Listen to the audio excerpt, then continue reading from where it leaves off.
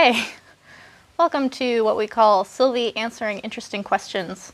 Um, I found this question on Reddit and I found it very interesting. It's actually something that I think about a lot and have um, talked to people about and maybe even written about a few times.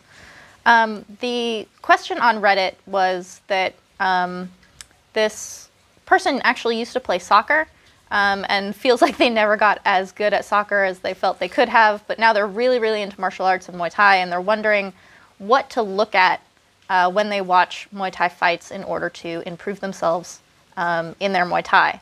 Uh, the reason I bring up the soccer part of it is that uh, I thought it was a really, really interesting example and a good example that when watching a soccer game, if you just watch the ball and like where it's going on the field, um, you don't actually see how the players are working.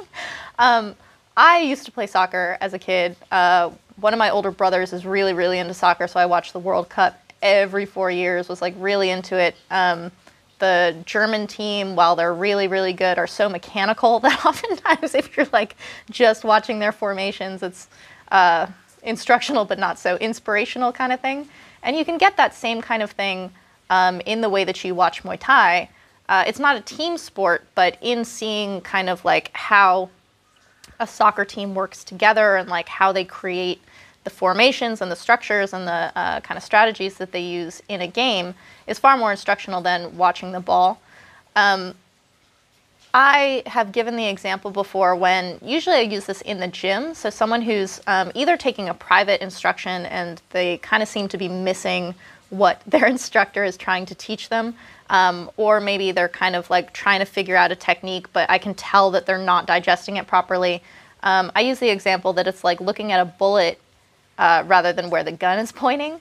Um, a lot of people like when they're looking at a punch or something, they look at the fist and then like where the fist lands. That's not how that plays out. You should actually be looking at uh, the torso and how uh, the weight shifts around it. You should be looking at the knees, the flex in the feet. Um, for me, the most important thing when trying to understand a technique or watching it for the first time, one is to look at it as a whole shape um, in the same way that like you know the letter R by its shape. The instant you see it, just the shape of the letter R, you know what sound that makes once you know how to read. Um, it's the same thing. You look at the overall shape of um, a fighter or a technique, and then you start looking at these little details. So, like um, for me, I look at the feet first because that shows you um, where the weight is being transferred, and it shows kind of the execution of the technique in how the weight shifts. It shows you distance. The bend in the knees and the hips with the rotation will tell you a lot how center the body stays and whether or not the weight is shifting up from the chest or whether it stays kind of curled. All of these things are really good things to look at when you're learning, like when you're in front of an instructor and you're trying to figure out how they're doing the technique that they're trying to show you. You can also look at it when you're watching fighters and totally geek out on it. So, uh, this question on Reddit was specifically asking when watching fights, what do I look for in order to improve myself? Um, the cool thing about this is that you can watch the same fight like 40 times and just look at different things each time. Uh, Kevin, my husband, has recently gotten really into like color palettes, and so we'll watch movies together and we'll watch them several times, but looking for different things. So um, if you watch a movie like I don't know, uh, what's a good example of what we just watched? Um, you can watch a movie that's basically just an action movie, and so you like watch the action and the plot and things like this, but then you watch it again and you see what palette's being used in each scene in order to kind of give an emotion to that set. It's the same thing as how like the score in a film uh, will kind of guide you towards the emotions that are trying to be set in that scene. They do that with color as well. So that's a film example. But when you're watching a Muay Thai fight, uh, for me, I super geek out when I'm watching like my favorite fighters. So if I'm watching like a Karuhat fight, or um, I get really excited from Wangchannoi because he's really scary. I'll watch the fight looking at how the two fighters are playing with distance. Like, how are they taking the advantage with the distance? So, someone like Silapathai, for example, wants to juggle you and just keep you on the end of his teep, like, not now, not now, not now, and then he lets you in and he kicks you and scores a huge point. He's playing with distance on the far end of that. Samart is also someone like that. Somrak is incredible at that. Very tall, never comes forward. You can also look at Dern fighters. Those are the fighters who are pressuring and coming in Um, someone like Langsuan, for example, is basically drowning his opponent at all times. Um, Lam Moon is actually quite tall, but he turns, he comes forward, so he's like, his ranges are really interesting because of his height and length, but also being a knee fighter. So the way he um, closes distance and then holds distance at the shorter ranges is really interesting to watch. So in those instances, I would recommend watching the two fighters um, and how they're each trying to govern that distance. Um, watch their feet, watch their footwork, see like how they pivot off at angles, see how they move backwards and post before firing a shot, how they're pushing someone before uh, firing a shot on the way in. Um, pay attention to whether fighters like to stay near the ropes or whether they like to be in the middle of the ring. If you're watching Thai fighters, um, there are fighters who are absolutely incredible against the ropes, and they will just kind of drift from corner to corner and rope to rope and have their opponent kind of follow them around in that way. Um, and then there are fighters like Dieselnoi who forces you into the ropes um, and then just destroys you, or someone like Yodkhunpon who will kill you in the middle of the ring, regardless of where you're standing.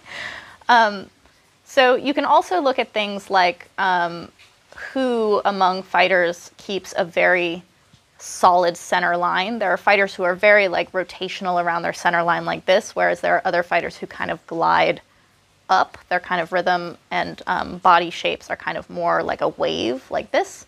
Um, and then there are others that are very like kind of pendulous like this. Um, those are really, really cool things to look at because you can see how those characteristics or nuances really affect um, a fighter's style. It's, it's really what gives them the kind of um, impression that they have. Uh, if you like watching modern fighters, if you're not going to geek out on the golden age like I do, uh, if you want to watch modern fighters, um, it can be a little bit trickier because the, the matchmaking is, is not um, always the most interesting in terms of like distance and stuff like this. But if you're going to be watching someone like Saenchai on Thai Fight, um, because he's so much better than his opponents all the time and he's basically just kind of messing with them through 98 to 99% of the fight, looking at how he stays close but still uh, creates a kind of feeling like he's super evasive um, with his opponents is really interesting to watch. So watch his feet. Um, uh, in his little like shuffle step type of thing is, is a very obvious thing, but watch his feet at all times, like how close they are to his opponent's foot. Um, see where his upper body goes right before he fires a shot, and then where he is on the end of that shot to see like how he's keeping his balance and things like that. Um, I really like watching boxers, even though I'm not a boxer. Um, I really like that because the way that they um, find angles, because uh, boxing is really like half of Muay Thai. It's the uh, you can only strike from the upper body, so the legs have to do so much work in terms of like where they're positioning you in, order to set up for um, power and angles and things like that. To me, is uh, really instructive and interesting to watch. Um, and you can totally apply them back and forth to each other, which is really cool. So that is my advice on one, uh, what to look for when you are being taught something, uh, where to look when someone is instructing you and how to understand a technique, and two, uh, all the different ways that you can watch and rewatch um, a fight and a fighter in order to kind of digest and comprehend and then apply to yourself um, different strategies and angles and techniques um, and like uh, impressions that fighters have in their fights. Uh, if you guys would like to see other videos of Sylvie answering interesting questions, uh, we have a playlist. You can check that out there and uh, on my YouTube. and uh, yeah, if you see any interesting questions or if you have interesting questions, you can post them on the Muay Thai Roundtable forum. We'll put a link in the description for that. Uh, and I'm always looking through Reddit and finding interesting questions like this and just giving my two cents on it. Thanks, guys. Hey, so a bit of an addendum from the first part of my answer to this question.